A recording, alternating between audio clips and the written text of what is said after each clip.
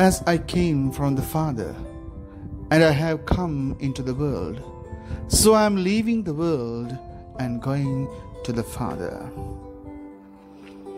My dear friends in Christ, in the Gospel of St. John, chapter 16, verse 28,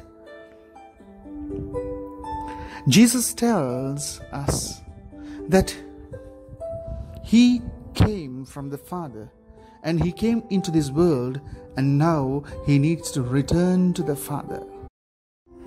My dear friends, Jesus understood from where He came and to where He has to once again go. He knew that He came from the Father and He knew that He has to return to the Father as well. And he understood the reality of this fact. And he knew how he needs to live on this earth. Just because he could realize and understand the reality of his life. Something that we will never be able to understand sometime until even at the at the moment of our death is that we don't belong to this earth. And Jesus could understand that. Jesus understood very well that he did not belong to this world. That's why he could say this. But we, in turn, are unable to understand that we don't belong to this world. That's why we live in this world as if we are going to live for eternity. That's why we grab things day by day. That's why we yearn for power and wealth so much.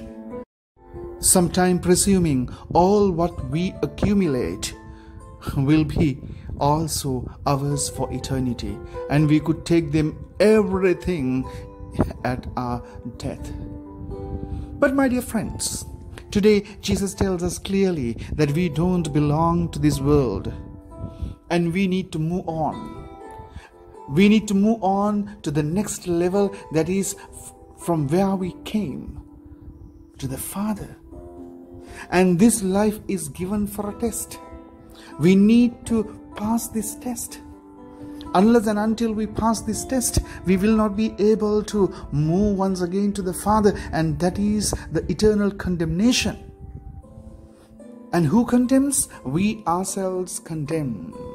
My dear friends, it is not God who condemns because it is the test that is given for us to pass. So, if we fail the test, we ourselves have to re- remain for the eternal sorrow and suffering. My dear friends, we need to understand this. We need to always cater to this. We need to understand that we are temporary being on this planet earth and this temporary life is given for you and for me to have a permanent base in the next so let's try our best to live according to the Word of God, which is the directive of our life.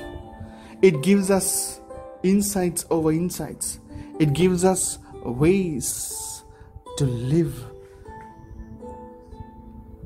In doing so, we will be able to inherit the eternal bliss and the eternal life uh, which is guaranteed in the Lord Himself, my dear friends. Because He came and lived and went back and showed us the way. And He said, I am the way. So when He becomes my way, I know how to live in this planet called Earth. Let us strive hard to understand this. Let us strive hard to know and believe that the Lord is always with me to encourage me to live according to the way that He lived in this planet. My dear friends, it is not easy. It's very demanding, it's very challenging, sometimes it's very trying. But whatever the circumstances are, whatever the situations are, we need to practice and live our religion according to the ways and according to the statutes of the Lord.